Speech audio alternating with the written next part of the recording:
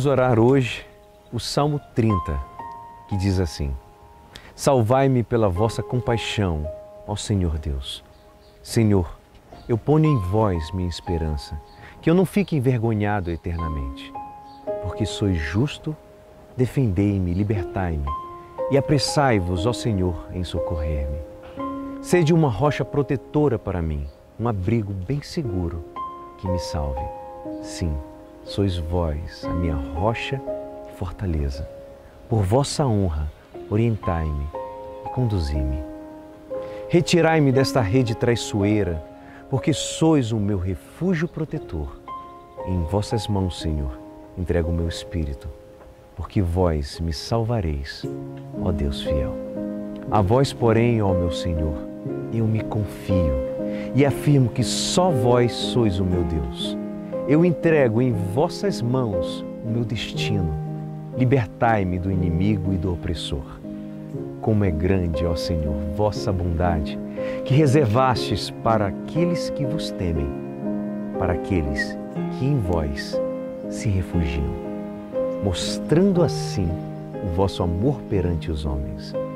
Salvai-me pela vossa compaixão, ó Senhor Deus. Amém.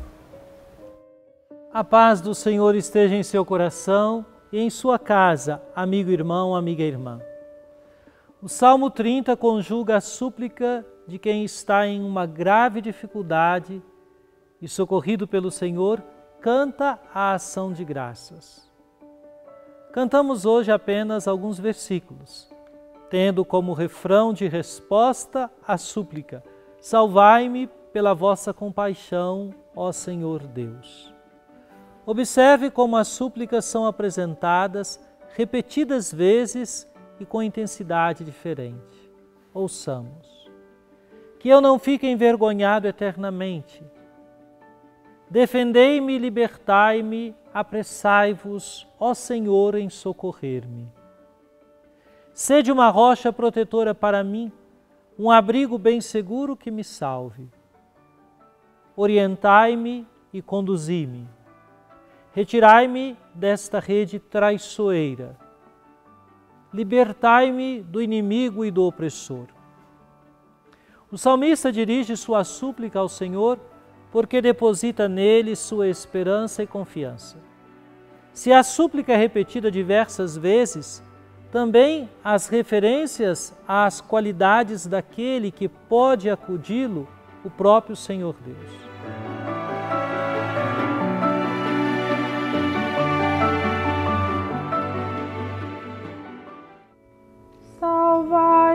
Pela vossa compaixão,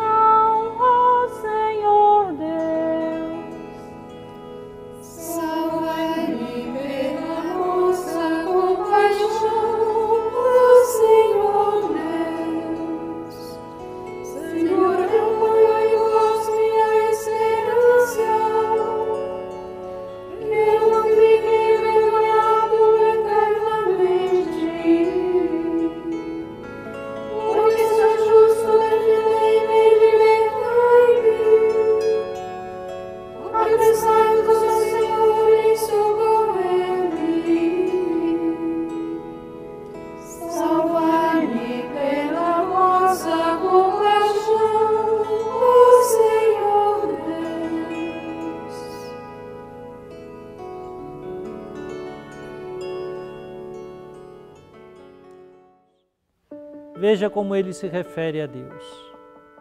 Senhor, eu ponho em vós minha esperança. Sois vós minha rocha e fortaleza. Sois o meu refúgio protetor.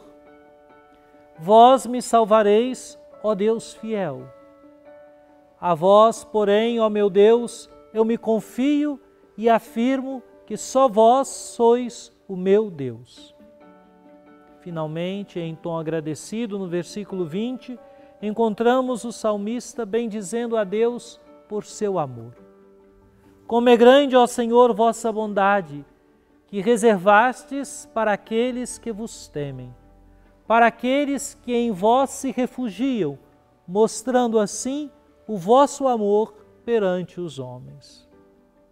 Santo Agostinho, ao comentar esse salmo, ensina: Ninguém duvida que é vão o clamor que se eleva para Deus se aqueles que oram disserem apenas palavras, sem terem o coração voltado para o Senhor. Quando a súplica se faz no coração, mesmo que a voz permaneça em silêncio, pode ser oculta para os homens, mas não para Deus. Quer oremos em voz alta, quando é preciso, quer em silêncio, é sempre o nosso coração que deve clamar por Deus. O clamor do coração é um desejo forte do Espírito, que passa para a oração e nela exprime o apelo intenso do homem que deseja, que pede e que espera ser ouvido.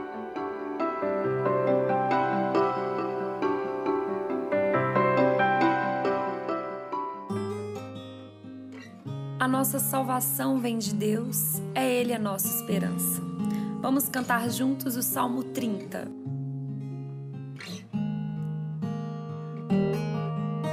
Salvai-me pela vossa compaixão, ó Senhor Deus.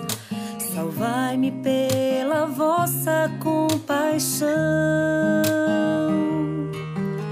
Salvai-me pela vossa compaixão, ó Senhor Deus. Salvai-me pela vossa compaixão. Senhor, eu ponho em vós minha esperança. Que eu não fique envergonhado eternamente. Porque sois justo, defendei-me, libertai-me. Apressai-vos, ó Senhor, em socorrer-me.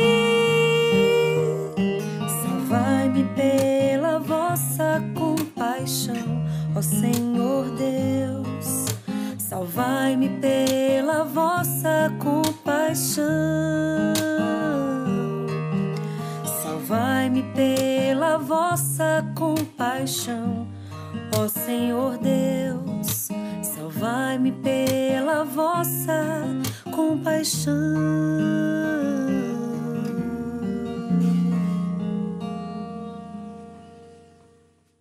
Não tema apresentar sua súplica ao Pai, mas lembre-se que suas palavras não podem estar distantes do seu coração. É preciso, antes de tudo, que seu coração esteja voltado para Deus e aberto para acolher o próprio Espírito que clama em nós. Jesus Cristo nos disse: Pedi e vos será dado, procurai e encontrareis, batei e a porta vos será aberta. Pois todo aquele que pede, recebe, quem procura, encontra, e a quem bate, a porta será aberta. Então, supliquemos em oração para que o Senhor, rocha protetora e abrigo bem seguro, seja para mim, seja para você, para a sua família, cheio de compaixão, e nos conceda encontrar todos os dias forças para superarmos dificuldades e desafios. Que a bênção de Deus desça copiosamente sobre você, em nome do Pai, do Filho e do Espírito Santo. Amém.